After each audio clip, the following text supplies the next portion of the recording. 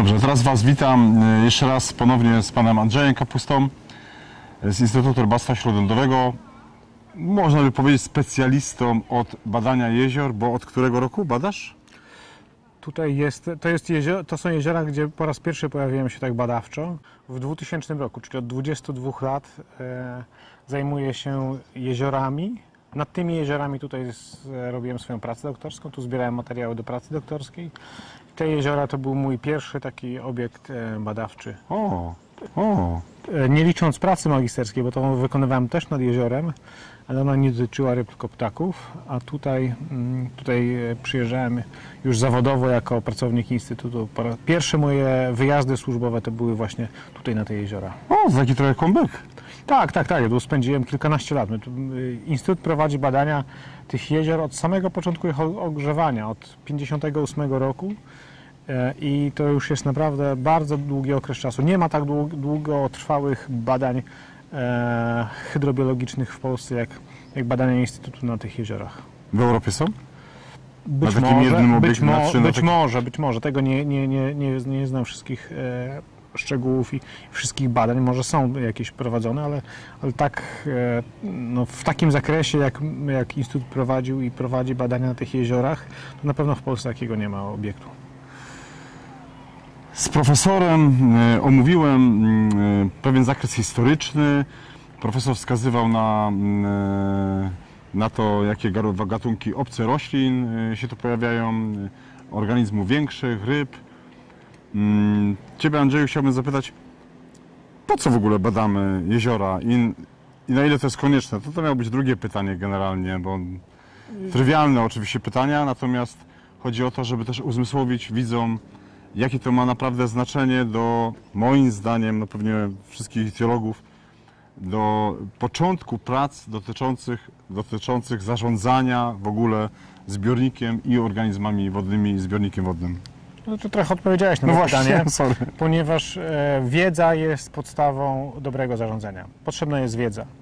E, My zajmujemy się tutaj głównie hydrobiologią, też rybami, ale ry- rybami takim w kontekście naprawdę bardziej ekologicznym, czyli funkcjonowania. Zajmujemy się funkcjonowaniem jezior. Jest dla nas to jest ogromny poligon badawczy, ponieważ podgrzewane wody mogą trochę stymulo- symulować nam sytuację jak, jakie będą e, oczekiwane zmiany e, w naszych e, zbiornikach wodnych, czego możemy się spodziewać. My już je widzimy, tak? Niektóre Ze jeziora, względu na ocieplenie, Tak. klima, na ocieplenie klimatu. niektóre jeziora mazurskie w ogóle nie zamarzają w ostatnich zimach albo zamarzają na bardzo krótki okres czasu. Tak jak tutaj w Koninie przez wiele lat obserwowaliśmy.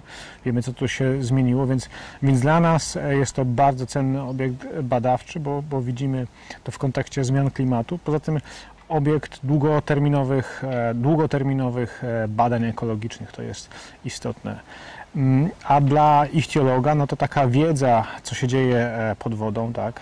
Oprócz tego, jakie ryby występują, to co się dzieje pod wodą, to co dzisiaj widzieliśmy, tak? Dokąd sięga tlen, żeby, żeby było wiadomo, jakie, jakich gatunków można się spodziewać. Tutaj te jeziora przed ich włączeniem do systemu chłodzenia tych elektrowni, część z tych jezior to były jeziora sielawowe. Te jeziora, nad którym stoimy, sąsiednie jeziora ślesińskie, to były jeziora, w których występowała sielawa.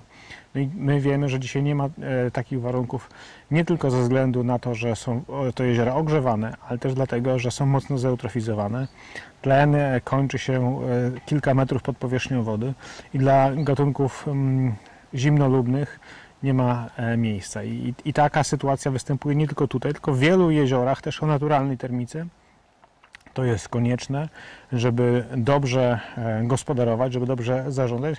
To jest, to jest konieczna e, wiedza na temat tego, co się dzieje w takim ekosystemie. Dzisiaj z, z jeziora pobierany czy badany był to, co można określić też od razu na miejscu, poza tym, co idzie do laboratorium, ale na miejscu był badany właśnie tlen.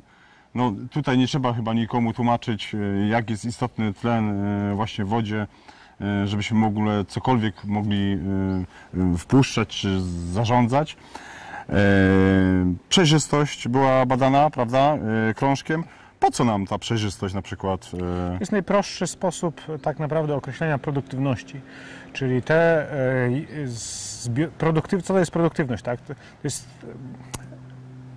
organizmy, które żyją w toni wodnej, e, korzystają i z tych minerałów, które są tam rozpuszczone, a jednocześnie same też są producentami. Tak? I my w ten sposób staramy się oszacować, jaka jest produkcja, czyli jaka, jaka jest e, materia. Baza pokarmowa też? I tak, tak. I, I materia, która jest włączana w obieg. E, Fitoplankton, który wbuduje w swoje ciało mm, rozpuszczone biogeny, rozpuszczone minerały, mm, zjadany jest przez wyższe organizmy, przez wrotki, skorupiaki planktonowe. Te z kolei są zjadane przez jakieś inne organizmy, między innymi ryby. No i w ten sposób to, to, to są producenci pierwszego rzędu, te, te e, rośliny planktonowe, które są w wodzie. E, Krążek Sekiego pozwala na e, ocenę, e, dokąd dociera światło, ponieważ badamy go do takiego momentu, aż przestajemy go widzieć. Więc mniej więcej światło dociera dwa razy głębiej, ponieważ jakby my widzimy to, co jest odbite. E, I to jest ta strefa fotyczna, gdzie, e, gdzie te glony planktonowe, gdzie, gdzie, gdzie plankton roślinny może e, żyć, bo on potrzebuje mm, światła. I pozwala nam na ocenę, jaka jest produkcja i produktywność takich jezior. I czym ta widzialność jest mniejsza, tym ta produktywność jest wyższa. E, Z punktu widzenia mm, ichtiofauny to nie jest wcale e, lepiej. To nie znaczy, że jest więcej pokarmu. Ten pokarm jest w innej strukturze. Jest bardzo du- dużo drobnych organizmów planktonowych, które tylko przez bardzo krótki okres czasu są zjadane przez ryby. Później ryby potrzebują dużych organizmów planktonowych, a te występują w czystych jeziorach, ponieważ jest ich dużo, zjadają dużo fitoplanktonu, a to sprawia, że przezroczystość wody takich, taki, tak, w takich jeziorach jest większa. I zwykle też e, z tym się wiąże to, że, że ten tlen e, e, jest też w głębszych warstwach wody, bardzo często do dna, między innymi dlatego, że makrofity, czyli te rośliny, które rosną w dnie, mogą rosnąć na większych głębokościach. Na, na takich najczystszych jeziorach, które prowadziliśmy badania, to zdarzało się tak, że jezioro miało 10 metrów głębokości i rośliny rosły też na, na, w najgłębszym miejscu, na 10 metrze. Tak? To były super czyste e, I jeziora. ten też sięgał do A, oczywiście, końca, oczywiście, do samego dna. No, bardzo często też jest tak, że są jeziora, które, gdzie tlen sięga do dna, nawet 30, met- 30 metrów głębokości i wcale przezroczystość nie jest bardzo duża. Tak? Ona się trochę zmienia, to fluktuuje. E, Ta fauna i flora planktonowa ma swój cykl życiowy, rozwija się taką sin- sinusoidalną. Mówimy o pewnych zakwitach. One się pojawiają później, giną naturalnie. E, e, Jest tak, tak duża biomasa, że te organizmy obumierają. Jest, zwiększa się przezroczystość. Każdy z nas widział, że jeziora w pewnych momentach roku są, wydają się super czyste. Na wiosnę albo szczególnie jesienią, tuż przed zamarznięciem, to, to przezroczystość jest ogromna. Teraz latem tylko w niektórych jeziorach tak to wygląda. Ja mówię o sytuacji jeziora, które w szczycie e, stagnacji letniej, czyli w szczycie, w letnim szczycie, kiedy, kiedy powinna być najgorsza sytuacja, to tam tlen sięgał do dna, było go bardzo dużo. E, Między innymi dlatego, że e, jezioro było bardzo przezroczyste, makrofity rosły na, na dnie, na tych 10 metrach i one też produkują tlen, bo rośliny produkują tlen, który jest rozpuszczony w wodzie. Kolejnym z czynników, który został mm, jakby badany, to mm, przewodnictwo. Tak. To mnie bardzo jakby zainteresowało. Pewnie mało osób y, wie, że takie badanie w ogóle y, jest przeprowadzane. Też powiedz, y, od czego zależy właśnie i na co wpływa ta przewodnictwo, przew- to przewodnictwo. Można by sobie stwierdzić, że też zmienia się parametr gęstości, jakby nazwijmy to wody, prawda? Przewodnictwo, my, my badamy przewodnictwo elektrolityczne właściwie. Jest to przewodnictwo, tak w skrócie można powiedzieć, że jest, jest to miara, która pozwala oszacować ile substancji, ile minerałów jest rozpuszczonych w wodzie. E, Tak jak często sprawdzamy na e, butelce, albo polecam, żeby sprawdzić na butelce wody mineralnej, ile jest minerałów i kupować te, które są wysoko zmineralizowane. Bo są też wody, które mają bardzo ich niewiele, tak? E, W wodzie woda też ma pewne swoje właściwości. E, Pewna ilość substancji jest rozpuszczona i e, najczęściej te bardzo czyste wody mają niskie, niską przewodnictwo elektrolityczne. Ono zależy od typu wód. Są wody, mm, są e, zbiorniki miękkowodne, gdzie przewodnictwo elektrolityczne jest na poziomie kilkunastu czy kilkudziesięciu mikrosiemensów. To jest tak jak, jak woda destylowana. Prawie, no faktycznie. Tak, tak, tak. E, Jak robiliśmy badania jezior mm, tatrzańskich, to tam przewodnictwo elektrolityczne sięga kilkunastu, dwudziestu kilku mikrosiemensów. Tutaj w jeziorach... I to jest tak zwana ta faktycznie miękka woda i to też wyjdzie w pH, prawda? Ta, no, często jeziora miękkowodne są kwaśnowodne, ale nie, to, to, nie- to nie jest tak do końca e, z sobą skorelowane. To nie ma takiej prostej relacji między e, zakwaszeniem e, albo między odczynem wody, a Okej. w jeziorach, które są jeziorami zeutrofizowanymi, zanieczyszczonymi, tak można w skrócie powiedzieć, najczęściej przewodnictwo jest wysokie, sięga kilkuset mikrosiemensów, zwykle powyżej około 500 albo powyżej 500. Tutaj jeziora konińskie to jest 600, kilkadziesiąt, 660, czasami to zależy od, od jeziora. To przewodnictwo trochę się zmienia w ciągu roku, ale nie, nie aż tak e, bardzo.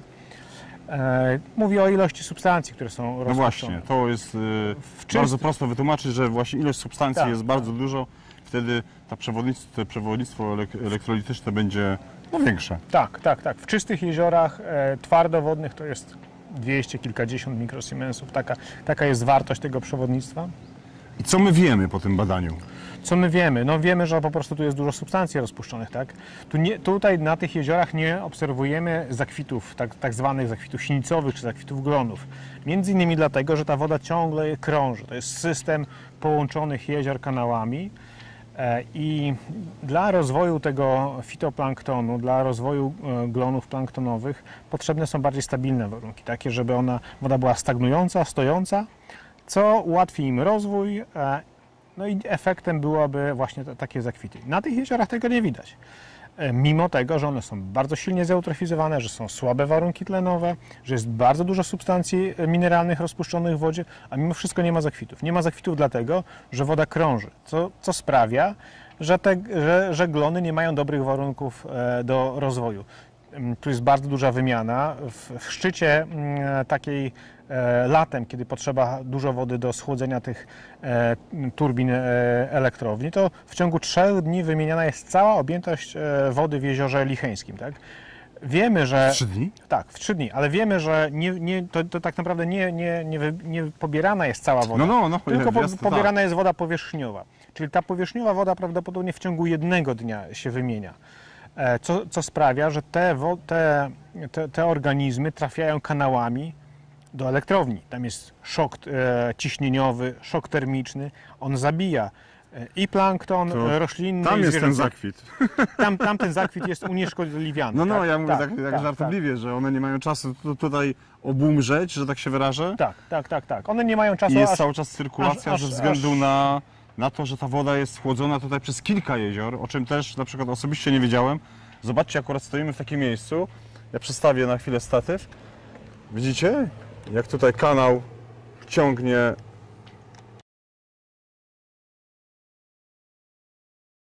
O. Zobaczcie, jaki nurt jest widoczny z kanału, który właśnie chłodzi. No i też widzimy tutaj, zobaczcie, jakie połacie wspomnianej wcześniej balisterii, która tu ma właśnie dogodne warunki do tego, żeby tutaj być. Yy, W tej chwili tutaj temperatura jest około 30 stopni Celsjusza. Co jeszcze można powiedzieć o tym przewodnictwie? Czy Generalnie to jest dobre dla ryb? Znaczy, Jakie to ma, jakie to ma, jakie to ma znaczenie dla ryb? nie, ma, nie ma to, znaczy ma to takie znaczenie, że przewodnictwo e, jest, to jest wskaźnik mówiący o pewnym e, cechach środowiska. W jeziorach miękkowodnych nie spodziewajmy się, tam gdzie jest niskie przewodnictwo, nie spodziewajmy się na przykład różanki, ponieważ różanka jest uzależniona od e, małży. Ona składa ikrę do środka małża, tak? Do płaszcza e, małża. E, a w miękkowodnych jeziorach jest bardzo ma, mało wapnia. On nie jest rozpuszczony e, w wodzie i małże i ślimaki nie mają za bardzo z czego budować swoich skorup. Więc Chitynowych. tak, więc, więc bardzo często w tych jeziorach albo nie ma wcale skorupiaków takich dużych, nie ma, nie ma małży i na te jeziora lobeliowe, które są właśnie jeziorami miękkowodnymi w Polsce, takich jezior jest około 180, 170 kilku, to na, na, na przez, przebadane przeze mnie około nie wiem, 40-50 jezior, to różanka występowała tylko w dwóch jeziorach. A różanka jest gatunkiem pospolitym w naszych jeziorach. Ona, ona w niektórych występuje rzadziej, w innych częściej. Tu w jeziorach tych konińskich jest to e, pospolity gatunek, występujący bardzo licznie. Między innymi dlatego, że tutaj też występują małże, tak? E, Nie nasze, ale jest ich... są różne gatunki małże. No, nasze też. występują też nasze e, małże, ale generalnie tu, tu występują małże, a w miękkowodnych jeziorach najczęściej małże nie ma wcale i nie ma tam różanki, tak? Mm, W jeziorach e, czynnikiem, który bardziej wpływa na występowanie ryb niż przewodnictwo, to jest odczyn wody, tak? To jest cecha, która jest związana z ich zasadowością i e, wiele gatunków ryb jest, e, no, może żyć tylko w pewnym zakresie tego odczynu wody. Jak ktoś hodował rybki w akwarium, to Tak. Zbyt, zbyt duża, e, e, zbyt, duży, zbyt wysoki odczyn jest dla ryb szkodliwy i zbyt niski odczyn wody jest e, dla ryb szkodliwy. Mm, Przy niskim odczynie wody e, glin, e, który występuje w wodzie, występuje w formie jonowej i wtedy jest on dla ryb e, trujący. E, Większość gatunków jest e, wrażliwa na to i dlatego w takich silnie zakwaszonych jeziorach czy zbiornikach wodnych nie występują żadne ryby. Jest, jest szereg przykładów zbiorników, gdzie ktoś wpuszczał e, ryby, a one nie przeżywały tego. Ja, ja e, dwa lata temu miałem taką sytuację, że robiliśmy badania rezerwatu e, przyrody i wśród kilku jezior, które znajdowały się w tym rezerwacie, było też jedno, które patrząc na nie wiedziałem, że tam nie powinno być żadnych ryb. Ale jak przyszedłem się po brzegu, najpierw zmierzyłem między innymi odczyn wody. Ten odczyn wody był poniżej 4. To, to na pewno zabija, zabija życie e, ryb. E, mogą występować jakieś niektóre organizmy, ale nie ryby. E, A jednak mimo tak niskiego odczynu wody znalazłem kilka sumików karłowatych, martwych, które leżały, leżały przy brzegu. To mnie skusiło, e, do, no, to- mnie skłoniło do tego, że jednak sprawdzić, zweryfikować, czy są tam jakieś żyjące ryby. Nie było tam żadnych żyjących ryb.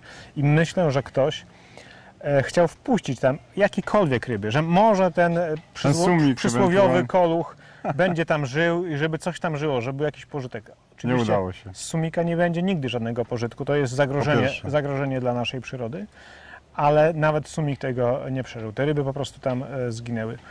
Glin jest toksyczny i najbardziej odporny na zakwaszenie e, wód z naszej ichtiofauny to jest przede wszystkim okoń. Na drugim miejscu mm, to jest e, szczupak. Dwa gatunki, które są najbardziej odporne na, na zakwaszenie wód. Ryby karpiowate są bardziej podatne na, na zakwaszenie, na, na, mm, te wolne mm, jony glinu. I już jeżeli, jeżeli e, odczyn wody spada poniżej 6, to zwykle ryby karpiowate e, albo tam nie występują, albo jeżeli występują, to z dużą trudnością. Na przykład ta trudność objawia się tym, że niecoroczne tarło jest tarłem e, udanym i skutecznym. Skuteczny. E, Co kilka lat może tak występować. Badaliśmy kiedyś takie jezioro, gdzie był niski odczyn wody, gdzie naturalnie występował tylko okoń i szczupak. W latach 70.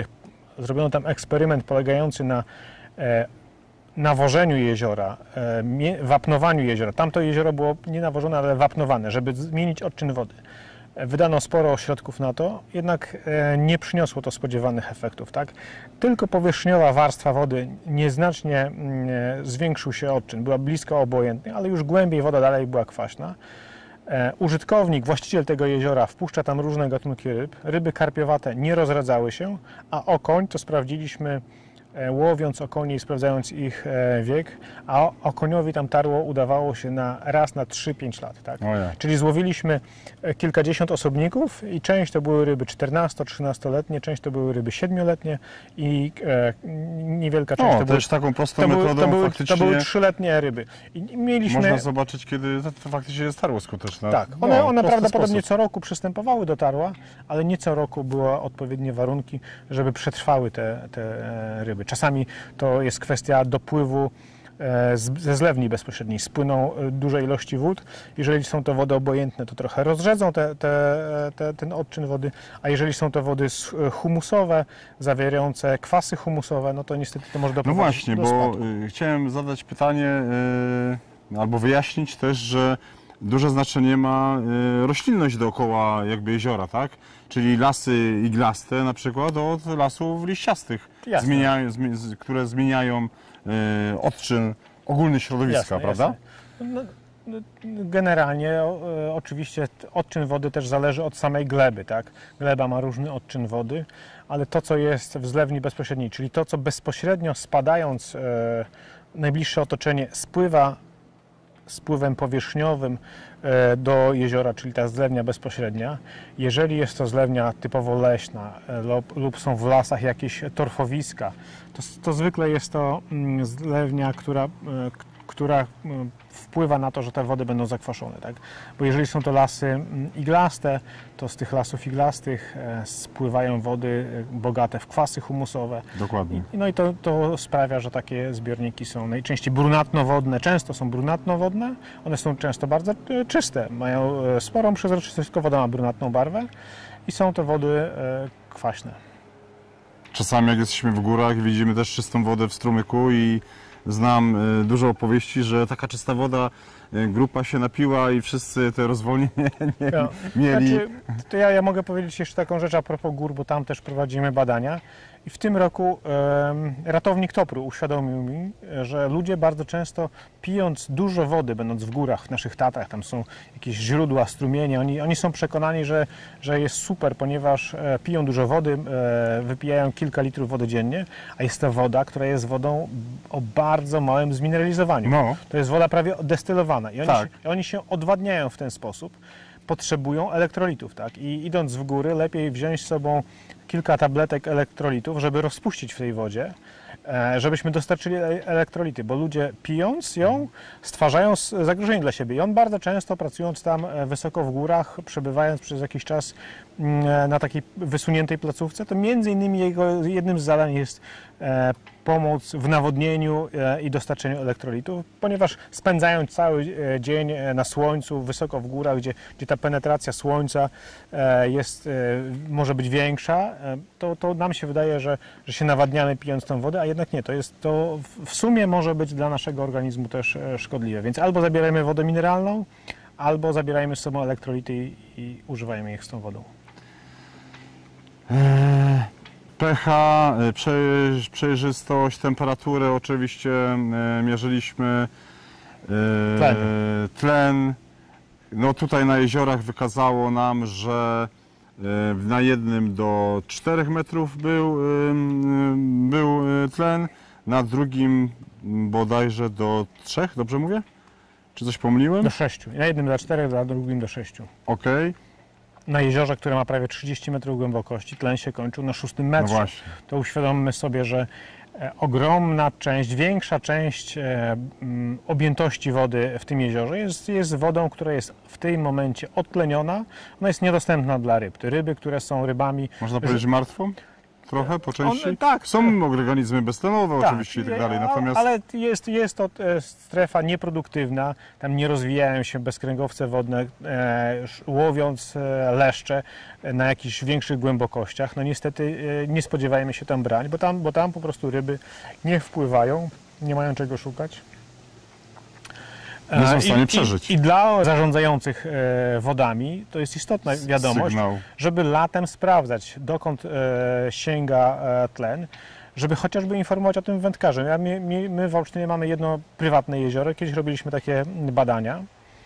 E, robiliśmy badania telemetryczne karpi, e, to jest popularne łowisko e, karpiowe, a jednocześnie ro- robiliśmy nasze badania hydrobiologiczne i wykazaliśmy, e, jak no, szybko kończy się tlen. To, to było jezioro, gdzie głębokość e, maksymalna to było prawie 30 metrów, 29 metrów. Tlen się kończył na 5-6 metrze, a wędkarze bardzo często nęcili głębiej i A. nie mieli, nie mieli sukcesów, wysypywali ogromne ilości. to jeszcze Tak. powodowało zmianę wody. Efekt był tego taki, że właściciel jeziora w następnym roku kupił sobie tlenomierz.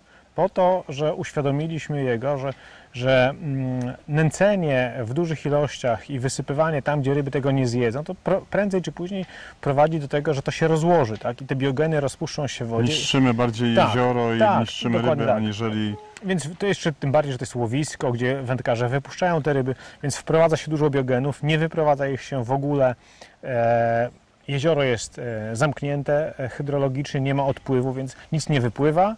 Wprowadzamy, mieszanej wprowadzamy biogeny, nie zabieramy ryb, bo nie chcemy ich zjeść, bo to, jest, bo to, są- e, okazy karpi.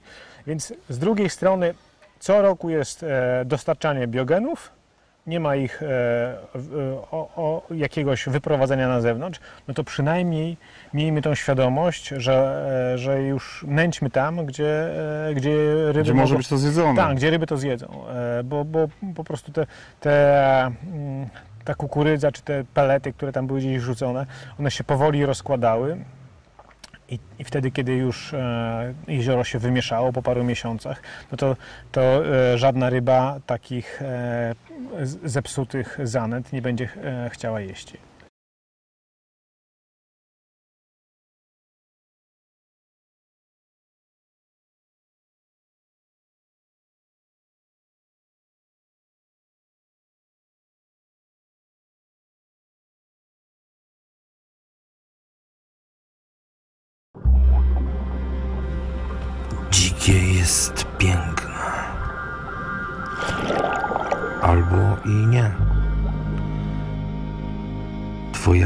Decyzja ma dzikie znaczenie.